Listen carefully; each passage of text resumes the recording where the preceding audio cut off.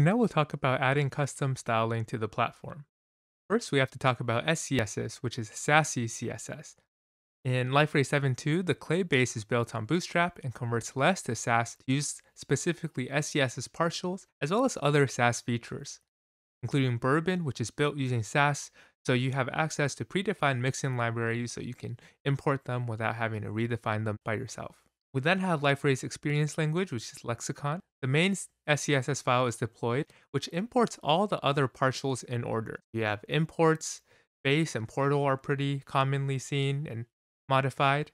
You also have navigation that we were talking about earlier. And then we see at the very bottom, we're importing custom, and this is where we put our custom stylings.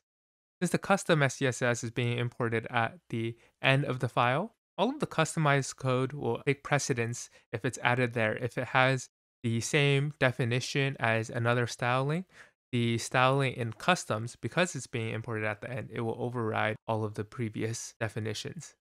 Well, then we have some Sass features. So Sass benefits developers by allowing them to include the following in their CSS. You have variables, so this gives developers the ability to store and reuse code. You also have mixins, so you give the ability to group CSS declarations and reuse the group, especially outside of classes without using inheritance. And so there, there are some really powerful and practical benefits to having mixins. You also have extending and inheritance. So this allows developers to share properties between selectors. And then nesting. So developers can nest CSS selectors in a way that follows the same visual structure of HTML and finally, you have operators, and this gives developers the ability to do math operations within their CS. So we now come to custom, and this is the CSS source file for adding custom global styling.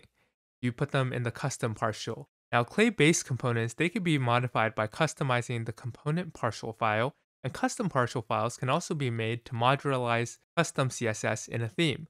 So on the right, you see we have different partials for each of the different components, so such as buttons, the footer, the nav bar, and variables. If you customize the styling for each of these partials or each of these components, then we will be able to see the different changes reflected only in that component, but not globally.